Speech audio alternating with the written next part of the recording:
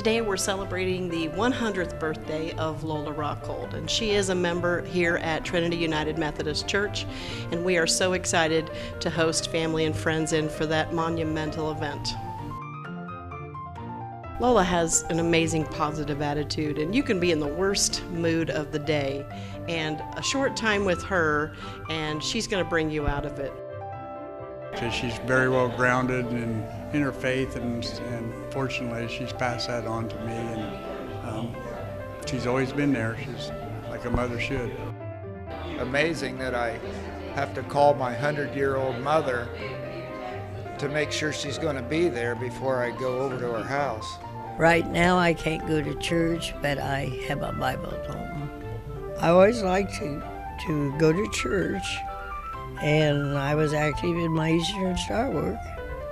It's my hope at 80 years old that I um, am living the life that she's living. I can't imagine uh, making it another two decades.